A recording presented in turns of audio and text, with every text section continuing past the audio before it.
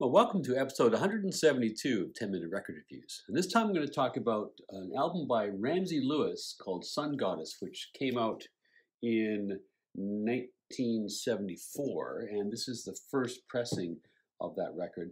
And Ramsey Lewis is a guy that, uh, well, certainly if you dig through record bins, you'll find associated with a lot of that really sort of swinging 1960s pop jazz, a kind of cocktail party finger snapping kind of stuff. Uh, this is a whole different kind of an animal, this album. Uh, this is jazz funk. It's made not just by Lewis and his trio, but by another musician, Maurice White. And Lewis and White had formed a close bond when White was in Lewis's trio in the late 1960s. They go their separate ways. And then in the mid 70s, they reconnected as they both had found their way into a bit of a funkier space.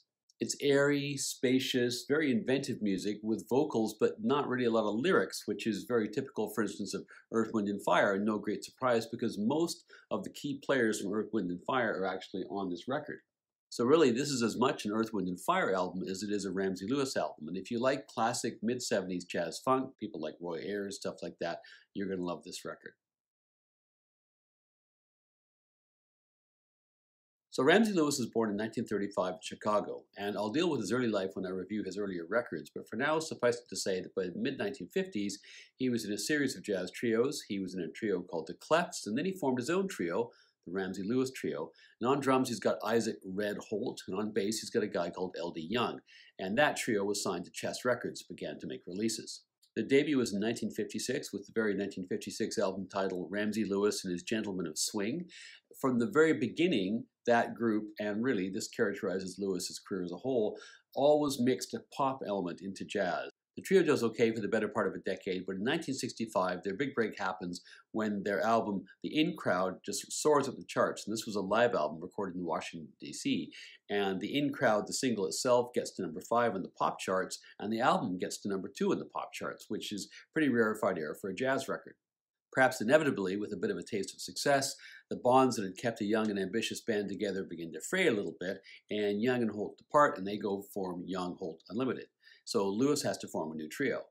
Cleveland Eaton, who's a tremendous bassist, comes in on the four strings.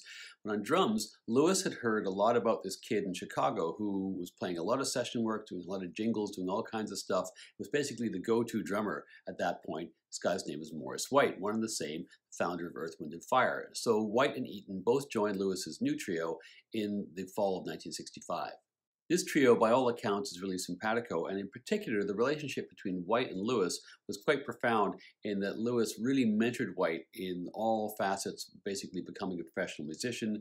White really looked up to him, learned a ton, and Lewis, in turn, constantly encouraged White, who we could see was a rare talent, to continually expand his abilities, his range of instruments that he mastered, and so on. And so it was a very fertile and progressive time for all of them. They had a fair amount of success in the late 1960s, but as White progressed and developed as a musician and really started to achieve his potential, you could really no longer contain a talent like that in someone else's trio. So he goes off in late 69 to form his own band, Earth, Wind, and Fire. Based on his work with Ramsey Lewis to date, he gets a record deal pretty quickly with Warner Brothers. White's concept for Earth, Wind, and Fire had a whole bunch of different influences. One of the key ones was Sly and the Family Stone, sort of a hard grooving band, drawing from a whole bunch of kind of eclectic musical influences and he also wanted the band to draw on multi-ethnic musical inspirations and have multi-ethnic appeal. They start off making a bit of a modest impact in the first couple of records. Their third album, Open Your Eyes, is their big breakthrough, and now they've really hit the big time. And so White, feeling that there's some kind of magic dust that he had going on, also reaches out to a guy he'd wanted to work with for a long time that he'd actually gotten to know back in Chicago when he was working with Lewis, and that is a guy called Charles Stepney, who is a fantastic producer and a fantastic arranger. Stepney always had a finger in a whole bunch of pies, including at the time being the musical director and the producer for a band called Rotary Connection. Now, these guys are a phenomenal group if you don't know about them, just as a sidebar. And their hits include a fantastic song called I'm the Black Gold of the Sun. They also featured a then unknown singer called Minnie Riperton, who would go on, of course, in the latter part of the 70s to have a fantastic solo career. Maurice had always wanted to work with Stepney again, so he brings him in, and Stepney is able to take Earth, Wind, and Fire just to another level through his arrangements, just bringing the best out of every musician. Meanwhile, back to Ramsey Lewis and his trio. Now, he'd had to fill a bit of a hole when Maurice White left, so he brought in a guy called Morris Jennings, great player himself. And he'd also been working with Charles Stepney as he took his sound from that kind of pop jazz, finger popping kind of swinger sound of the 60s to a much funkier sound in the early 1970s. As I've mentioned in other reviews, this was a transition which a whole bunch of primarily black jazz musicians made in the late 1960s, partly because of a sense of a loss of audience. It was losing its place to rock and roll, to soul, and to funk, and the black audience in particular have been departing jazz, moving to those latter two categories in terms of what they listen to. So, publisher perish, migrate or disappear. That was the choice. And so Lewis, along with a whole bunch of other black artists, had moved into a much funkier lane by the early 70s. So by 1974, Earth, Wind & Fire were in a great vein of form, laying down tracks for what would become the That's the Way of the World album in 1975. They had a few extra songs, and White felt that at least one of these, a track called Hot Dawgit, was actually a pretty surefire hit. So he phones up Ramsey Lewis and says, look, I've got this material. If you want to record it, we can get together. Lewis says, Great, let's do it. Let's get back together because they always enjoyed each other's company professionally, musically, and so on.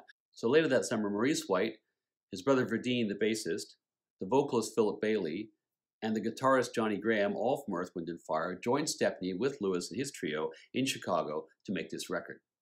It was recorded in Paul Serrano's studio, and the very first track they laid down was this instrumental that White was sure was going to be a hit, Hot Dawgit. Once they finished that, White mentioned to Lewis that he actually has another instrumental. He wasn't really sure where it was going to go, felt it had a bit of a Latin groove that could be useful, and they may as well just record it. So they put down this other track, it was untitled at the time, eight minutes long, which eventually became the title track of this record, Sun Goddess. To finish the album, they recorded five other tracks. Four of those written by Lewis, and one of them was written by Stevie Wonder, Living for the City. They rush out Hot Dawgit as the first single, and nothing happens. Everyone's kind of disappointed. They were sure it was going to be a winner. What does happen, though, and again, recall this is the age of FM radio, that black radio stations began to play the deeper cuts in this record, and in particular began to play the title track, Sun Goddess, which became a huge hit.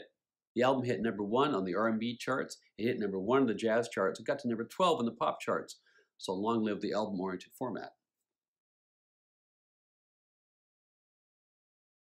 Side one starts with the aforementioned title track, and this is some sublime yacht funk. It's got those fantastic, as I mentioned, non-verbal vocals from the Earth, Wind, and Fire guys. There's this wonderful funky solo on sax from this guy they brought in, Don Myrick. The rhythm section, really the whole Earth, Wind, and Fire contingent is just phenomenal here. The White Brothers on drums and bass, Philip Bailey on congas, Johnny Graham on guitar, just a totally consistent groove all the way through, and Lewis just floating in and out in the Fender Rhodes. This is just a trip. It's like a fabulous sunny afternoon with the top down. The next song is a Stevie Wonder cover where Ramsey's carrying the melody, and you've got this fantastic work on bass by Cleveland Eaton. Once they deal with the head arrangement, the other real feature of this is this wah wah electric piano work by Ramsey Lewis. It's superbly funky, and they have this great distorted tone on the piano. The last song on side one is the first composition by Lewis in the record, and this is Love Song, which starts off with this slow, funky beat, kind of in the same vein as a lot of the Philly sound from that particular era, which of course was very influential at the time, Philadelphia International Records and that whole sound. Side two starts with Jungle Strut, which is another track where Cleveland Eaton's bass is a major part of the song. It's got this really hooky riff that underpins the piano. There's another player here, Derf Reklaw Raheem, who comes in on vocals, kind of a scat like no other in congas. This whole song in large measure is about the rhythm section and the vocals, but there is a nice little descending hook on synth played by Ramsey. Next is Hot Dawgit, which is a song that White thought was going to be a hit. You can kind of see why he thought it'd be okay for Lewis because it's a bit of a soul jazz piece, but strangely, given how cutting edge White really was in the musical world at the time, this song actually sounds a little bit dated to me. I'm not too surprised it didn't do too well. Tambura is basically a showpiece for two people. Ramsey Lewis, first on the ARP synth and then on the Fender Rhodes, and Morris Jennings on all kinds of different percussion. The final track, Gemini Rising, is the most obviously jazz track on the whole record. There's a whole bunch of mood changes here. At points, it becomes jazz fusion pretty much. And it's yet another chance for Cleveland Eaton to really shine on the bass. This isn't a completely coherent record. There's a bit of a tension, which doesn't always work, between White's contemporary, airy funk, the kind of stuff he was doing with Earth, Wind, and Fire, and the more traditional soul jazz, which was Lewis's stock and trade, which he was evolving from, but reveals itself every now and then. But tension or not, this is a record with many excellent songs, and in the title track, an iconic piece of mid-70s culture. It's also a hugely positive, uplifting album. If you're going to play this yacht funk on your yacht, it's going to be a happy voyage. It's one of, I think, the two real standout records of Ramsey Lewis's career, along with The In Crowd, and I give it four and a half out of five stars.